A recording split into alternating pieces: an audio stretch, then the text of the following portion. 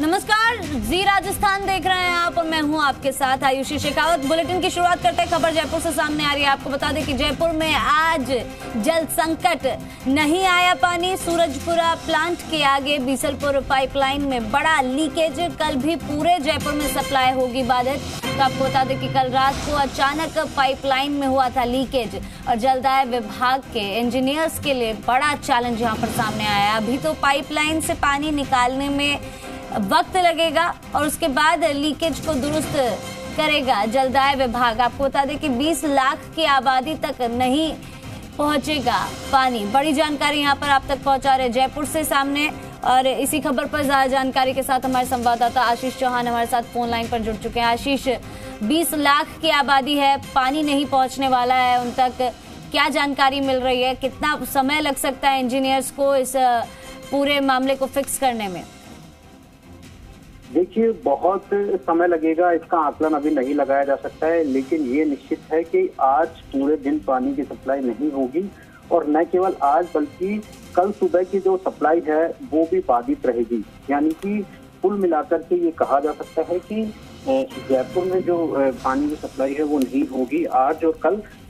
और सबसे बड़ी बात यह है कि लीकेज काफ़ी ज़्यादा है। जिस तरह से सूरजपुरा प्लांट के आगे लीकेज सुधारने का काम अभी तक शुरू नहीं हो पाया है। वो इसलिए नहीं हो पाया क्योंकि पाइपलाइन में जो पानी है, वो कहीं ना कहीं अभी तक निकाल नहीं पाए हैं, जिसकी वजह से जो पानी की सप्लाई जो लीकेज सुधारने का काम है, वो अभी तक शुरू नहीं हो पाया है। देखिए, तकरीबन ये बताया जा रहा है कि पाँच किलोमीटर की दूरी पर ये जो पानी की पाइपलाइन है, उसका पानी का निकालने का काम जो है, वो उसको निकालने में काफ़ी वक्त लगेगा और इंजीनियर्स लगातार यही कोशिश कर रहे हैं कि किसी भी तरीके से पाइपलाइन में जो पानी है, पहले उसको निकाला जाए और तकरीबन ये माना जा रहा है कि 25 एमएलडी तक जो पानी है, वो पाइपलाइन से निकाला जाएगा। यानी कि 25 लाख लीटर से ज़्यादा जो पानी है, वो बर्बाद होगा। लेकिन बड़ी बात यह है कि तकरीबन पाइपलाइन से पानी निकालने में 16 घंटे का भी वक्त लग सकता है। यानी कि आज जयपुर में पानी की सप्लाई नहीं होगी और कल भी सवेरे जयपुर में पानी की सप्लाई पूरी तरह से बाधित रहेगी। यानी कि जल संकट है। जल संकट के समय जयपुर को ये ध्यान में रखना होगा कि जो पानी की सप्लाई नहीं हो पा रही है तो पानी का संचय करके रखिए। जी राजस्थान न्यूज़ ने कल भी पूरे शहर को अलर्ट किया था जब ये खबर सामने आई थी।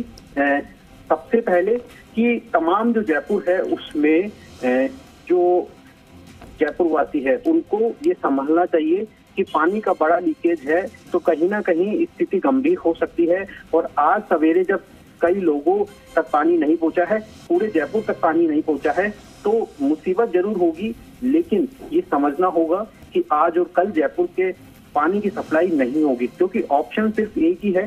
बीसलपुर से लाइन सिर्फ़ एक ही आ रही है। इसके अलावा जयपुर में जो पानी की सप्लाई का कोई ऑप्शन नहीं है। यानी कि बीसलपुर से ही जयपुर का पानी आ रहा है, लेकिन बीसलपुर से आज और कल पानी नहीं आएगा। क्योंकि बड़ा लीकेज है, लीकेज सुधारने में वक्त लगेगा, जो पाइपलाइन में पानी है पहले, वो निकलेगा, उसके बाद में लीकेज को सुधारने का काम किया जाएगा। यानी कि अभी घंटों लग सकते हैं पाइपलाइन से पानी निकालने में। इंजीनियर लगातार कोशिश कर रहे हैं, मौके पर है।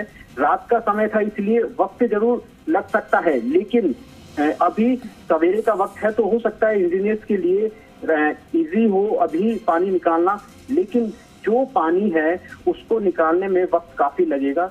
इसलिए आज और कल पानी की सप्लाई बिल्कुल भी नहीं होगी। जी। जी, बिल्कुल आशीष, जिस तरह से आपने बताया कि इंजीनियर्स के सामने यहाँ पर चुनौती बहुत बड़ी तो वहीं जयपुर की जनता के लिए भी काफ़ी बड़ी परेशानी यहाँ पर सामने आ गई है। हालाँकि जी, राजस्थान ने जिस तरह से सभी को अलर्ट किया था, अब देखने वाली बात है कि कितना समय लगता है इस पूरी परेशानी को सुलझाने में। हमारे साथ जुड़ने के लिए और तमाम जानकारी साझा करने के लिए आपका धन्यवाद।